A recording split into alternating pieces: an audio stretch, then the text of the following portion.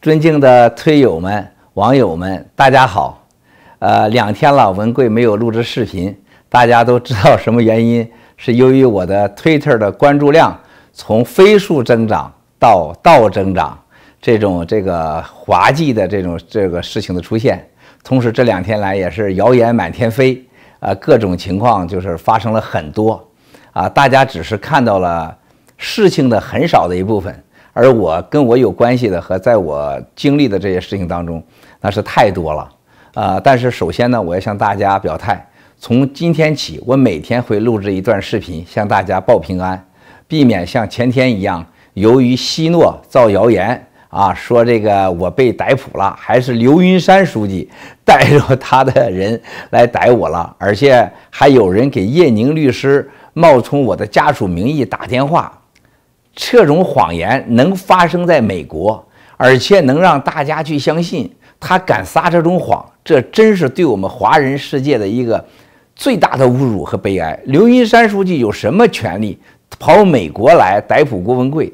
任何人有权利到美国来这么做吗？而且还给叶宁律师打电话，然后弄得所有关注我的朋友们、家人们、亲人们，哎呀，在我睡觉的两三个小时内。几千个的这个问候，真的是浪费了他太多大家的这种时间和精力和这种这个真正的这种热情，是非常让人遗憾的。当然，大家也看到了近几天来这个这个阿波罗网，还有什么其他的网上传说的各种事情都有。包括这个说这个习王孟啊，这个这个习主席、王书记、孟书记，呃，这个统一意志啊，要这个对郭文贵的老领导这个进行下手，查出老领导，这都是空穴来风，这完全不存在，因为根本很多人都在猜测老领导是谁。这位老领导是我对所有北京和我有联系的朋友、官方的朋友退下来的和现在在职的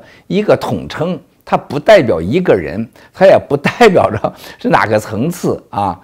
这昨天啊，我的其中一个老领导和前天都给我呃分别的有两个都我通了电话，这个对事情呢各个方面啊都给我进行了很好的有效的沟通。特别是这个老领导说：“你怎么会这个在网上啊散布谣言，说这个郭声琨书记部长？”要到美国去对你如何如何？郭声琨部长每天在北京的行动都是曝光的啊！你怎么能这么造谣呢？我后我没有说什么啊，这个我还没来得及回答，谈别的事儿了。我在这儿给大家一个回答：我从来没有说出郭声琨部长到美国对文贵怎么样，是其他网友爆出，我我又开始打听，听说了某些部分以中央巡视组的名义到这儿确实有沟通，这是事实。啊！但是这不是出自于我，但从这件事情啊看出了什么？现在所有领导得到的信息啊，反馈的信息，对事情的整个的评价都是假的，都是被操作的，这才是事情的本质。这是为什么现在海外上各每天关于文贵两到三三条的造谣，包括阿布扎比什么三十亿美元这个欺骗，派出这个 IS 杀手。还有什么这个这个阿萨德杀手？这简直是这个比赵本山大师的这个这个整个的小品都夸张。但是他也有人信，还能得到流传，这简直是对我们这些人的一个智商的一个侮辱，一个歧视。怎么可能呢？我可以负责任的说，这个世界上，如果你们要相信一个国家，相信一个政府的话，阿布达比。是绝对不会背叛自己的拥有护照的人的，他不会背叛任何朋友。大家可以查一查阿联酋这个国家，他们最重要的文化就是不会出卖兄弟和朋友。他们所说的兄弟是很严肃的。这个而且三十亿美元这个事情，你太小看我们了，太小看阿联酋了。阿联酋和我之间的合作和投资，你那三十亿美元还真不够我们真的付这个年管理费的呢。完全是捕风捉影，专案组的人非法的提喂了一些料，就捕风捉影、造谣生事。而且这对国家的形象、对整个国家的管理的水平、对整个外对外的国家形象是巨大的伤害啊！我相信这绝对不是国家这个行为，也不是哪个政府里边集体的这个决定，一定是非法的决定啊！我已经是深刻的感受到了。比如说这个阿联酋的事情，在去年十一月份的时候，孟建柱部长是出席德国这个反恐大会之前。先去了伊朗，然后呢又访问了阿联酋。在去之前，这个本来是这个王这个王子，也就是现在三军司令，因为他的哥哥是总统，他哥哥中锋很多年了，由他来主掌了整个阿联酋的事情。三军司令也是我的兄弟，也是我的这个我们这个国家的最高这个呃领导。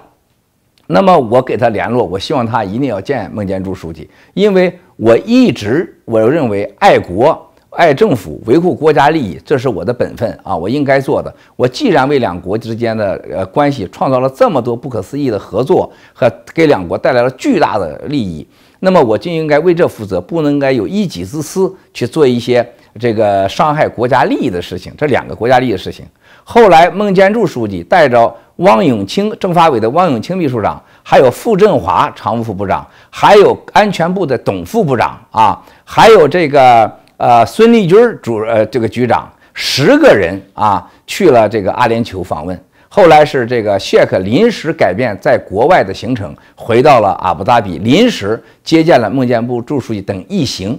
在接见当中，孟建柱书记说：“我们这次来，除了两国之间事情，还有一个重要的事情，我想问一下，您和郭文贵的什么关系？什么事情？这个能不能给我们说一下？在当时的谢克啊，Mohammed。”当场就说郭文贵是我的兄弟，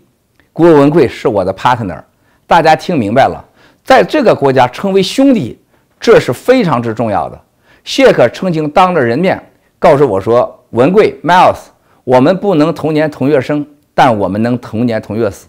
就是在那一天，我才接受了他的给我的护照。就在那一天，我把他真正当为了我可以付出生命的人，因为他说话不是开玩笑的。他是严肃的啊！我跟他的合作从现从开始到现在，他没给我说过不。即使发生了二零一五年这样的事情，他从来没有停止过对我的合作。包括这个最关键的时候，专案组的人以北京市公安局这个副局长姜良栋为首的，当时北京市刑一处的上百个干警。多次在香港的这个到香港去抓捕我们的律师，包括抓捕这个他们阿联酋在香港的这雇佣的律师，包括在大陆给关押、威胁，而且是这个用骇客的手段害进人家的公司和这个律师办公室，偷走了所有资料，而且多次去威胁人家阿联酋在香港的这个公事机构，包括领事馆，威胁说郭文贵洗黑钱，郭文贵是强奸犯，郭文贵是诈骗犯。然后他骗了你们，我们要帮你把这个钱拿回来，达两百次，人家从来没有因此对我进行怀疑或取消我的合作。这样的国家和这样的这样领导人，人家怎么能不富有呢？上天在那个中东这么乱乱局当中，给了他们最伟大的资源，给了他们最稳定的个社会。你们有时间到阿布达比去看一看，世界上还有几个国家像阿联酋，真的是路不拾遗。这是门不是门不关户啊，不用拿钥匙，不用关关门，扔在大街上前面捡，从未发生过一起强奸和这个这个杀人犯罪，在这种这个阿布扎比的城市里面，那个城市简直是完美的天堂。这是因为他们的领导人和他们的这个整个思想境界和管理能力和国民素质达到了这种境界。我认为那是现在少有的世界上最稳定、最安全的国家。可是。这两个国呃，这个国家和中国政府的关系，最关键的呃合作都是因为我而跟双方这个连在一起的。而且这个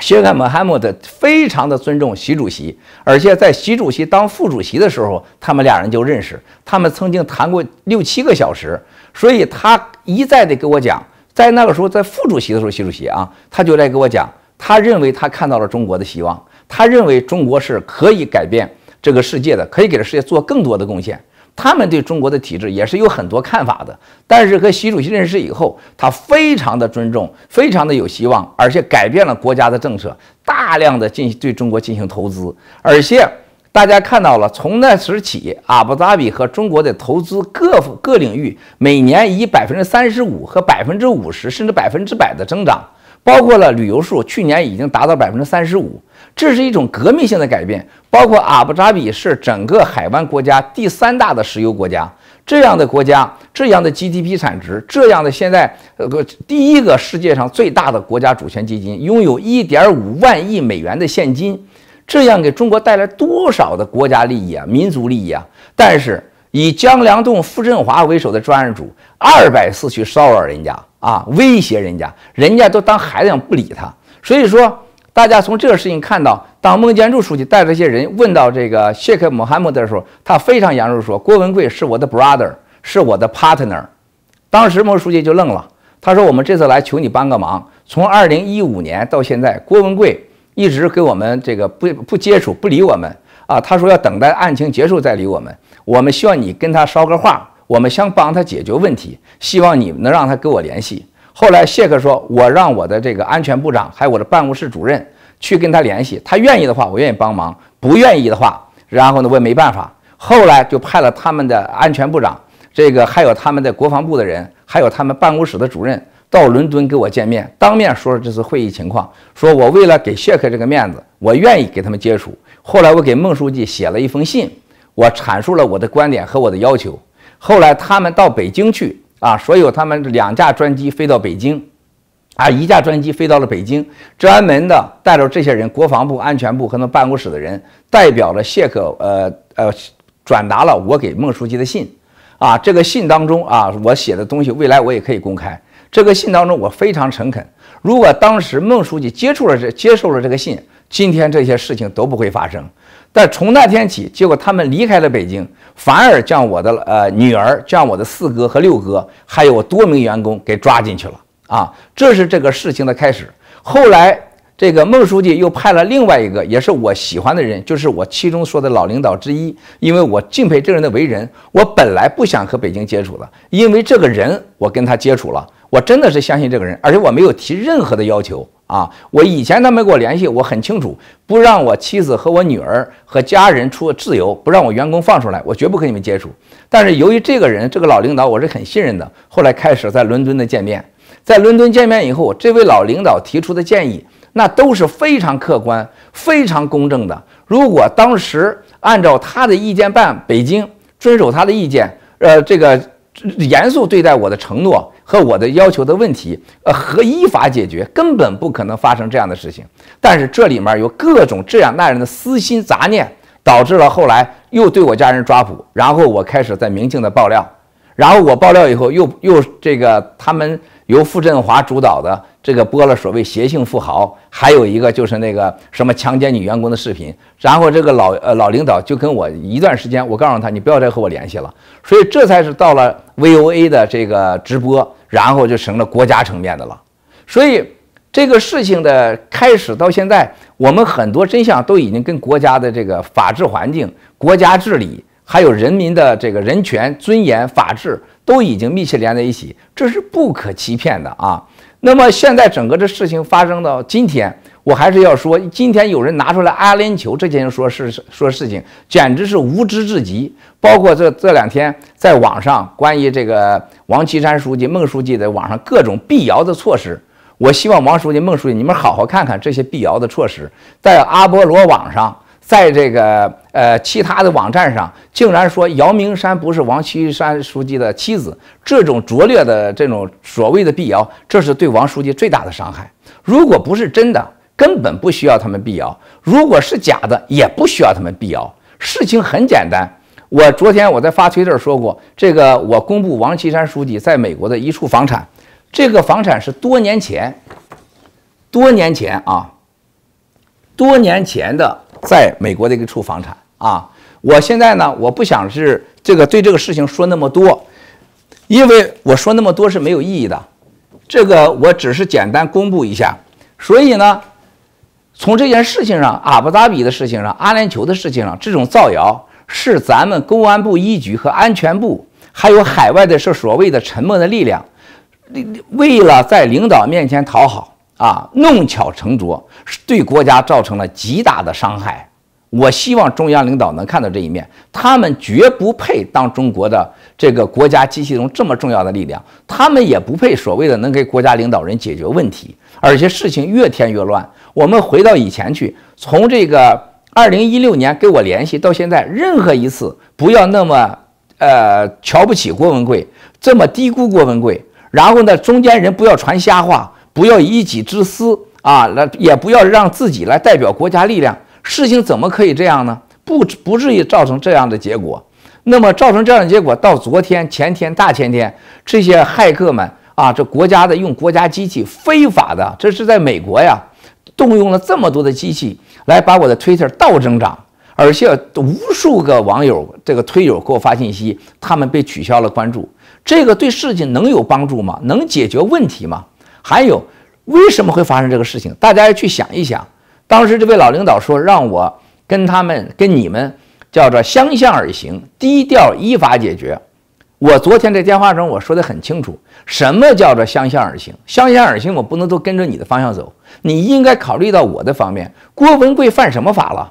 大家很清楚，你们不要以为郭文贵一定要定个罪，你这事才拉倒。那你这事你看错人了。我有没有罪？要依法。来来处理，而不是所谓的跟你相向而行，进行一个和这个和稀泥的以为一个妥协的一个答案，那郭文贵是绝对不接受的。包括我的员工已经关了将近三年了，他犯了什么罪？你可以关三年呢？犯了什么罪让你们在大连看守所以完全名字找不到，进行了消失性的状态？律师不让见，在开封看守所啊！我必须说，说到开封，河南的公安厅长徐甘露，包括兼兼这个河南的公安厅长。这个人是完全是让我很尊重的，因为在河南这个地方，我做出这么大的贡献，呃，被指定为呃徐甘露厅长，被指定为专案组组长，关了我那么多员工，包括我的侄女啊，被关在开封，在这个人道上，在这个调查当中，虽然是很过分，但是基本遵循了法治啊，这一点我对徐甘露厅长非常非常之感谢。那么在这个北京，呢就是简直是。啊，没有人道，没有人性，没有法治。这个江良栋组长，还有行医总的傅振华的这些人们，你们必须要对这个负责啊！虽然你们多么的嚣张，多么的狂妄，一定要给我们一个交代，我们一定要跟你要一个说法，依法的这个这个调查和依法的对你们的行为进行给我们一个结果性的一个一个一个一个说法，包括。现在我们被关押的人当中，很多家属受到的威胁和所有的状况，这都是这些没有素质、没有能力的人来做到的。特别是老领导说让我相向而行，相向而行不是说我现在我犯了罪了，你非要给我定个罪不行，我这些员工和家人的事儿就过去了，那是不可以的。咱必须依法给我一个准确的。一个公平的一个结果，这是我一直以来的诉求。这个问题上，郭文贵永远不会妥协。那么反过来说，这位老领导说，当时让我相向而行，低调解决，我低调了。后来为什么高调了呢？是因为在你们离开伦敦的时候，我明确告诉了您，我明确的说，我即将给接受明镜采访。而且采访的内容我大概都说了，包括对这个我这个第三集在 VOA 的爆料的大部分语音和这个详情我也口述给您，我也给您了。后来回去你没有处理好啊，才导致了我第二次的爆料啊，是因为你们报了，你们做了这种邪性视频，你们所谓的强奸视频啊，我们才出来的。这是一个管理能力，还有一个站位的问题，还有一个你个人素质。还你对国家的态度的问题，才导致了这样的结果。后来 VOA 这个事情更走向了灾难，那就更不用提了。本来这个事情，老领导如果给我打个电话说文贵你不上了啊这个节目，然后呢，我们可以在某一方面上，国家给你一个公正的说法，为了国家的利益，为了国家的尊严，为了这个整个这个民族的利益，我可以考虑的。但是你采用了外交部的这种说法啊，呃，陆康先生。这么重要的一个国家的门面，一个 spokesman，竟然是扭身而去，成了全世界的笑话。包括昨天外交部部长这个王毅，呃，部长说这个阿联酋不会是这个呃藏腐败的地方。我希望王毅部长你在世界上这么伟大的形象，不要随便呃这个被伤害了。现在我觉得你看上去啊，和外交部就像当年这个萨达姆那个宰义夫的那个发言人似的，说话狂妄。这个阿联酋这个事，我现在那是我是他的公民，我可以向负责任告诉你，呃，王毅部长，你一个人你也带不回去。而且我告诉你，阿联酋我已经正式的向这个国家，包括谢克，向他们告诉，必须取消和中国的遣返协议。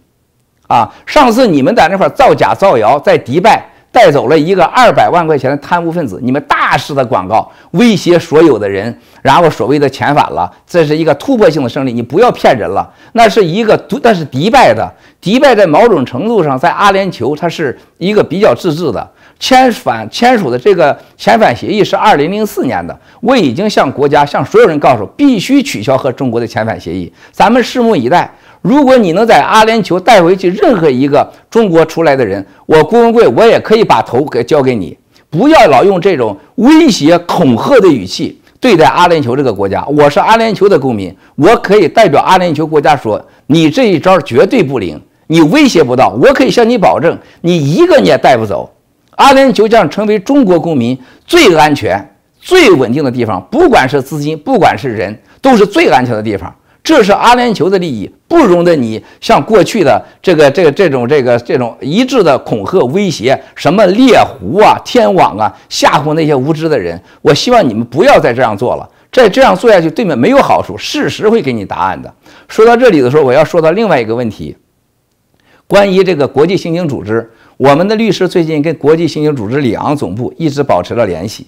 我今天，我首先我在此呢，我要对魏京生先生。还有和平先生和所有的这个去为国际刑警组织在那呼吁，呃，不要再成为中国政府的某些黑人控制的一个邪恶的力量，不要再回到二战的时候成为希特勒的这个这个这个控制的一个带有黑社会性质的一个国际组织。我呃经过沟通以后，我今天上午和这个我们的团队进到去中央中央公园去跑步。他们在这个过程当中告诉了我所有的情况，因为我们其中的一个呃律师团队的家人就是国际呃国际刑警组织过去的一个代表美国的重要的领导，呃我们的律师呢在今天会正式面交刑警组织一份我们的严肃的信，我们要他们给出正式说法。同时我才知道，美由于魏京生先生和和平先生和所有今天我们在海外的华人还有这些律师们的呼吁。结果造成什么呢？就是 CIA 和 FBI 来自美国政府的驻里昂的刑警组织全部撤回了，这是一个天大的消息啊！这个我今天听了以后，我特别的激动，因为就是我们的华人的团结，有魏京先生先生、和平先生、陈小平先生，还有我们原来被害的过去的呃多个这个红呃红色通道的个人出来站出来讲话。以事实为根据，呃，以法律为准绳，以然后讲各种案例，造成了巨大影响。而且据我所知，美国政府正在考虑国际金融组织的他他的身份，美国政府会有下一步的行动。这个对孟宏伟担任国际刑警组织，美国政府是绝对不接受的。不仅美国政府，很多政府，我据我了解也不接受。而且我已经告诉了我持有护照的多个国家，一定要站出来，要反对这个组织。这样黑社会的形式，这个完全是这个带有这种威胁、恐吓、绑架的，对这个海外的华人啊，以为给了点钱就可以把我们的自由、把我们的未来给拿掉，这件事情我们是不会玩的。所以这是一个好消息。所以说，王毅这个部长让我们那么尊重的人，这个我很多日本朋友都特别喜欢王毅，我们家人都喜欢王毅部长。现在说话动不动就代表了安全部、公安部，我觉得好像警察似的。还有陆康先生竟然在发布言当中，郭文贵跟你没仇没冤，续说到郭文贵，你像说狗屎似的。如果郭文贵的爸爸是常委，你敢说吗？你会用那种嘴脸吗？这种种族论、血统论在你们的身上体现的淋漓尽致。你那点水平，就你那点能耐，你不要再自以为上。凭什么你这样？就是因为我是草根吗？就是我被你们妖魔化的所谓的这个是一个骗子、强奸犯，你就会对这么态度吗？在你身边上比郭文坏一万倍人多了，你也没有资格对郭文贵这么说话。你也不要老拿着你那点小小水平，在这威胁着全世界，没有任何意义，没人接受你这一套。你在我眼里什么都不是，什么都不是。那天我在这个马拉沟的时候，你们在旁边过去，我连看你一眼都不想看你。郭文贵不愿意看你们，你有什么了不起的？我是一个公民，我是一个中中国人，但我不是你的公民。我即使我是你的公民，我还没有定罪，你凭什么以这种鄙视的眼光，你们这样对待我？这不就是中国现在最大的问题吗？只要一谈到私人企业家，你们就认为都是行贿的，啊，只要一说你们国营企业，都是你们一伙的。凡是私人企业家在国营企业面前，连小三儿都不是，啊，不但如此，只要坐在一个桌子上，只要有官员，一个科长在。能让一个给国家纳税百亿千亿的老板坐在一边去，这个老板连半点尊严也没有。中国的私人企业在你们这人眼里面，真是连猪狗都不如。还有一个一说农民，你们就嗤之以鼻，恨不得捂上嘴捂上鼻子。你们的爷爷奶奶谁不是农民呢？谁不是草根呢？现在一说话，农民就代表着低级庸俗。可是你们骗的钱，很多钱不都是来自这些泛亚、易租宝？哪个钱不是来自农民呢？你们纳税当中哪个不来自我们这草根呢？我们的私营企业家你看不起，农民你看不起，就剩你们国有企业了，就剩你们官二代了，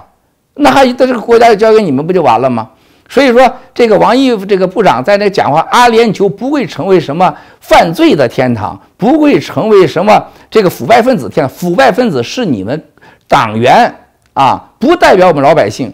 阿联酋一定会成为中国人任何一个人。最安全的地方啊，资金最安全的地方啊！我现在可以代表阿联酋说的话。如果你要认为不行，我可以咱们一起在阿联酋搞个记者招待会。你看阿联酋的国家是听你的还是听我的？不仅阿联酋，多个国家都在最近和我一起啊，对这个事情是表示极大的不满。所以说呢，我认为很多人是不能代表这个国家的，很多人你们是不能代表十四亿人民的利益的。而且我在这说，你们最近的所有的这些做法和行为，不仅严重的伤害了这个国家，严重的伤害了中国人民在世界的形象，而且带来了严重的后果。啊，我今天我在这可以说，我绝不相信你们干这事情经过了党内的所有的程序，我也不相信，呃，这个外交部召会美，呃，通过呃驻美大使馆到 VOA 去威胁协调。安全部、公安部一局，北京安全局所谓的沉默力量，然后想尽一切办法在 VOA 内部捣乱，包括对我的这个 Twitter 的骇客，啊每天给我这个进行害到我的电脑，发垃圾信息，然后录制邪性富豪视频、强奸视频、再强奸视频，然后在这个网上把阿联酋的事情拿出来，让这个你们为的这个希诺和博逊这样的人天天造谣啊，这个这个转移视线。这能是国家行为吗？我绝对不相信，我就更谈不上习习主席知道了。习主席怎么可能知道这个呢？我深信啊，我从昨天老领导的那里，我得到了一个很正面的一个回复，说这些事情不代表国家，不代表最高领导人。这两句话让我非常之感动，因为这两句话，我最近的三星期啊，我要开始停止我的爆料，新的爆料，我停止。我停止就是对这两句话的回馈，啊，包括其中一条，这个我特别感动的啊，说对郭文贵要一分为二的看。中央领导对我这个评价，文贵非常之感动啊，我一定会不会让你们失望。文对文贵一分为二的看，我就值了。我只希望对我的员工、对我的家人的遭遇和对我的资产依法的进行一个。给我一个结果，包括这些专案组非法的这个虐待我的家人和员工，给我一个依法的这么一个公正的结果，依法来呃来决定的结果，包括对我郭文贵是否涉嫌犯罪，财产是否合法，给我一个公正结果，我愿意接受，以通过我的律师，通过走正常的法律程序，然后对我的资产和家人、员工和我的事情一个公平的处理结果，我愿意。啊，在这个问题上，我没有任何过高要求，就是要求依法、公正，走正常程序。同时，我永远的，我永远不会改变的，我不反国家，我不反政府，我不反习主席，三不反。但是我坚决反以黑治国，以贪反贪，以警治国，以警反贪。特别是傅振华这个副部长。傅振华副部长的这些作为，必须得给我个说法。傅振华先生收的钱，他是否应该承担什么样的党内纪律处罚和这个这个经济犯罪调查？这必须得给我个说法。在这个问题上，我不会妥协的。所以说，这个一次次的在海外操作这些事情，我也昨天听说，这不代表国家，不是组织行为，我非常的欣慰。像这个博讯，这个收了大量的钱，我今天我在这里呢，我再公布一个，韦石先生，在过去我公布了一个账号，您说是啊，那个是你正常营业账号，正常营业账号应该叫博讯，不能叫这些名字，这是第二个账号，我一个一个给你公布。你的钱去哪儿了？你是为什么注册这个公司？为什么这些钱都都是背后的都是说了明白的都是删帖费啊？所以说你犯不犯罪，让美国政府决定。你和博，你和这个希诺和北京那些贪官们、那些俗官们所做的事情，那是你们自己应该负责任。你们不代表国家，不代表组织，而且你们这些行为会付出巨大的代价。很多证据我在这儿呢，我都不一一的亮了啊，我都不一一的亮了。我亮出来以后呢，我真的是怕震撼了这个世界。在未来的三周内，我会把很多的精力和时间去准备全球新闻发布会去。所以说我未来每天我都会录上五到十分钟像视频给大家，让大家不要担心，放心。然后呢，我这三周内也不会再有新的爆料啊，不再有新的爆料。特别是我要五月四号那天上这个秦伟平先生的。这个评论节目啊，只谈个人生活和过去的经验，呃，这个这个个人的事情，不有新的爆料啊。我全力以赴准备全球新闻发布会。比如说今天上午我就去了这个美国法院高院指定的这个证据鉴定这个认证机构啊，我将我将全球新闻发布会的所有的这个大部分的视频给合法化，因为这样的话他们进行认证。进行了打格，进行了处理，进行了是真是假的认证，包括了很多文件是否是合法，然后呢，这个是否是真实的认定。所以未来我们的全球新闻发布会上，对一些公布的账号啊、啊资产呐、啊个人这个这个呃身份信息呀，还有资金来往的这个流水账啊，啊还有一些视频呢，都是经过美国呃这认指定的合法的认证机构啊才可以放出来，才可以播出来。我全力以赴在准备这个事情，呃，到时候在我公告之后，我们会有一系列的全球发布会的对这个参加的人的要求，对参加人的一个标准，包括时间，包括中间会有大概什么样的节目，时间的安排，我们都会一一公布。啊，这个事情一定是，呃，这个新闻发布会一定是前所未有、世界级的。到目前为止，大概有六百三十家媒体，包括了各种呃社社交媒体，还有这个自媒体啊，这都很多。呃，我相信还会超出这个数的。那么过去的三天吧，我接受了两家的这个新闻机构的采访。呃，这两家新闻机构呢，我估计大概在未来一周吧，可能会播出来。那么在未来的呃三周内，我基本上不接受任何媒体的采访。希望现在所有跟我联系的这个媒体呢，还有这个机构呢，希望你们要理解，我三周以内不接受任何的采访。原来约定的，像美国的这几个大的电视台，呃，我稍后都会给他们发信息，我们在三周内都不去做。那么我再返回来说到这个这几天的造谣，还有这几天的捣乱，呃，还有这几天的呃发生的这些丑闻，包括这个 Twitter 倒增长，我在这严肃地说，这些五毛们，包括。我知道了，这是以傅振华为首操作的非法操作的，利用国家机器啊，这个在外面搞的这些事情。我从这个视频播出后，我给你们时间，我希望你们停止。如果我的推特还继续倒增长，不是事实，还有骇客的话，我就会继续每天发更多的视频，我就会继续爆新料。这是我庄严承诺，你记住，如果你不停止对我 Twitter 的骇客攻击，不停止对我的抹黑，不在网上删除我所有的负面假信息，真的你都保留，你不删除关于我的假的负面信息，严重影响了我和这些基金们的合作。我的基金里面有九十个 LP，九十个 LP，现在这九十个大概百分之六七十都准备撤回在中国的所有投资。因为他们不是因为我，是因为他们看到了你们这种丑陋的、无法的、无法无天的低劣的行为，他们伤心欲绝，都要撤回到中国的投资。不信你可以试一试，你将给国家带来经济上巨大的损失。我希望这件事情能得以制止，我也不希望因为你们的丑闻把我这个基金这十一个基金全关掉，或者十一个基金把我给撵出来，那就我没有路可走了，必须跟你血拼到底。所以我希望你们把所有造谣的视频和这种假信息全部停止。五毛们，你们也该回家休息了。郭文贵在三周内不爆料，不爆新料啊，不爆新料。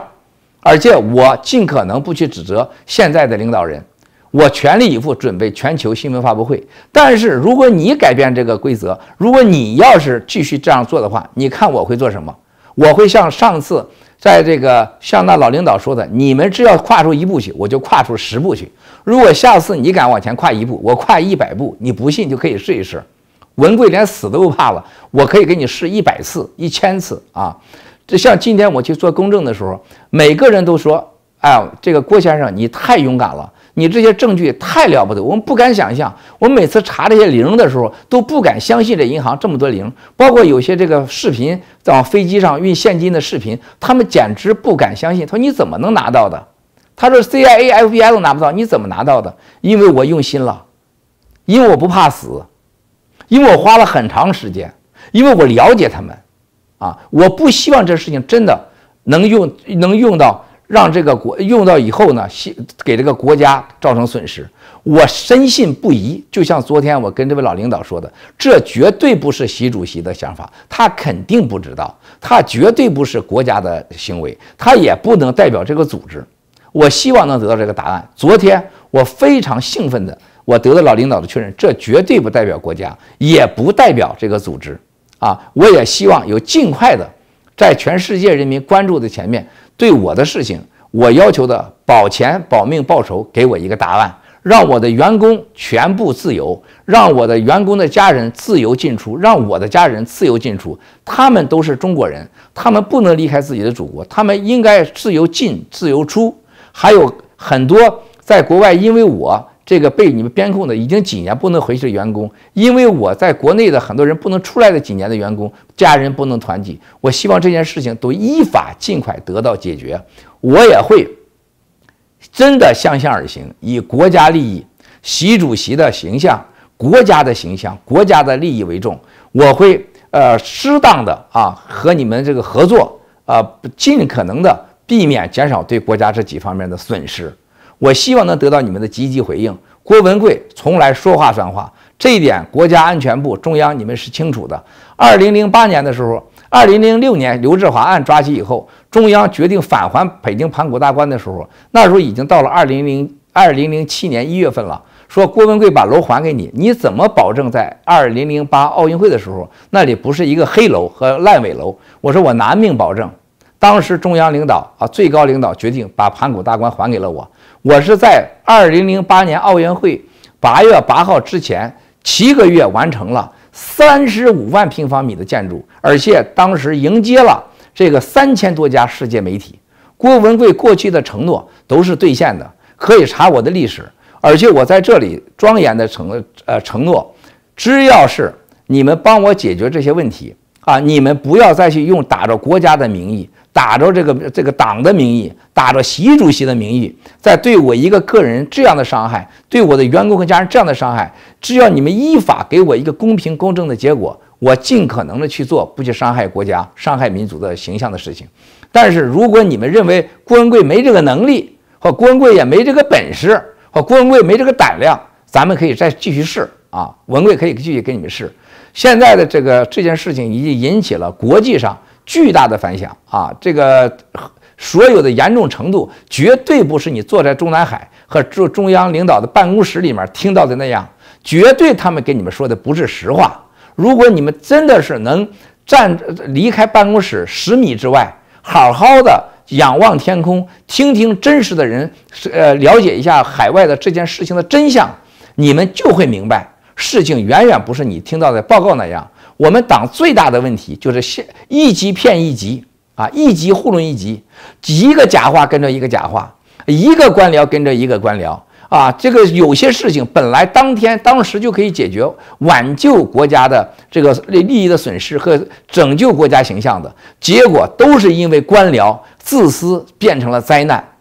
没有任何一个中国人不爱中国的，但是我们现在这个体制内部出现了盗国贼，出现了巨贪。巨官啊，黑官这是很大的问题。它只代表一少数人，它绝不能代表绝大多数人。这是我坚信的这个原则，我坚信的这是客观和真实的。文贵接下来从今天起每天都会录制视频，向网友们和推友们表达你呃，就让你们对我的担心和关心呢，表达感谢，同时呢，减少你们对我的担心。那么接下来，我全力以赴准备准备一个全球新闻发布会。全球新闻发布会一定开成开成世界上前所未有的，对中国依法治国具有巨大推动力的一个成功的大会，让全世界人民关注中国，让全世界人民关注二零一三到二零一七，让全世界都关注中国的十九大。和中国真正的反腐未来的走向，让全世界知道习主席有多么的不难。习主席他永远不可能承认，也不可能说他心中的痛苦，因为他没有没有团队，他没有利益集团。我这个未来想讲的话，大家可以看一看，不论是郭伯雄、许才厚还是令计划，所有被抓的人，哪一个是习主席的敌人呢？一个都不是，包括周永康。习主席没有跟他们任何私仇，包括政治个人冲突，包括薄熙来，也不是习主席去抓的呀。那么，习主席真正的是要反腐的，但反腐是被人家绑架、被人家利用了。但是我希望通过文贵的这个一点点的这种这个真相的爆料啊，事实比这大得多得多。那么一点点的小勇气，以一个无知的这么一个个性。能真正的让习主席和中国百分之九十以上的好人们、党员们、精英们看到中国真实的现状，能真正的帮助中国依法治国，真正的能避免以黑反贪、以贪反贪、以警反贪、以警治国啊，避免像这个《人民的名义》里边的齐厅长啊、高玉良这样的人成为党和国家领导人，给国家造成巨大的损失。这是文贵。这个不惜生命代价，愿意全家的生命和安危，愿意几一千多亿的资产，愿意我所有员工的生命安危，我的一切来去努力的方向。如果我真的能做到对这个国家有积极的一面的话，郭文贵不枉活一世。如果这个事情认为郭文贵是邪恶的，如果郭文贵这是呃没有完全不可理喻的，那我们可以继续走下去，大家拭目以待。不管如何，文贵走到今天。最重要的，我要感谢的就是我们的推友们对我的关注、对我的支持和对我的信任。我在这里真正的在推特世界里面感受到了温暖，感受到了真情，也真正的感受到了这个网络世界的伟大。通过这件事情，我们也看到了我们国家治理现在是对现代的社会、科技的文明特别的欣喜时代，是多么的无知，多么的无能。啊，在郭文贵的事件上看到了这种一个个愚蠢的行动，一个个适得适得其反的这种愚蠢的行为，而且使国家和这个国家荣誉蒙受了巨大的这个这个这个这个灰黑灰尘，让这个中央领导人，让这个国家，让这个组织蒙受了巨大的这个呃形象损失。这个真正的这个世界已经改变，信息时代将是巨大的力量，真相绝对无法掩盖。而且网络控制无法改变真正的所谓你们要掩盖的这些各种事实，对国家的治理半点帮助没有。我也希望通过文贵的事件，能真正的让这个国家走向一个和现代文明接轨，能真正的让这个国家走向依法治国，能真正的给老百姓，呃，不是不都捂住老百姓的嘴，让老百姓的钱袋子安全啊，这个这个呃菜篮子安全。老百姓的生命基本的安全，然后有基本的尊严，不要当成猪狗，不要再像外交部的陆康先生和王毅部长的一样，好像全世界人们都低他九等。外交部老百姓称你为卖国部，只是你不知道而已啊！不要用那种嚣张跋扈的对待我们这些草根老百姓。你们在三年后、五年后都回家了，你什么都不是啊！你能是什么呢？你给国家带来什么呢？你有什么了不起的呢？所以说，这种权力的傲慢，这种带有这种血统论的这种低愚蠢的 DNA 和对国际上完全不知道暴发户的心理，还有这些官员的上蒙下骗，我希望你们停了吧。这个世界容不下你们。你可以通过文贵事件看到这个世界真正的对正义、对法治、对真相的诉求，多少人、多少精英，你看到了在这次事件当中奋不顾身。他们的智慧，他们的能量，他们的力量，我多少人跑到了里昂去？这个关于这个呃 Interport 这国际刑警组织，你知道他们告诉说多大的影响吗？啊，不要像过去听到那些官员说看不起这些人，没有什么了不起的，这些人真的都很了不起。无论如何，郭文贵将永远与这些推友们和在这这次事件当中所有的这为了国家的依法治国、推动中国的自由民主的人站在一起。啊，维护国家的利益，维护民族的利益，维护国家的形象和民族形象。我真诚的希望所有的推友们和观呃，还有我的网友们，能和文贵一起，我们开成一个最成功的、对国家有巨大的推动的呃依法治国推动的正能量的一个有具有历史性的全球新闻发布会，在未来的三周内。文贵会每天再再次重申发一个小视频向大家报平安，希望大家放心，希望大家能对文贵更多的了解。我们在每天的视频当中见。在此，文贵衷心的感谢所有的推友和网友们对文贵的关注，对文贵的关心，谢谢。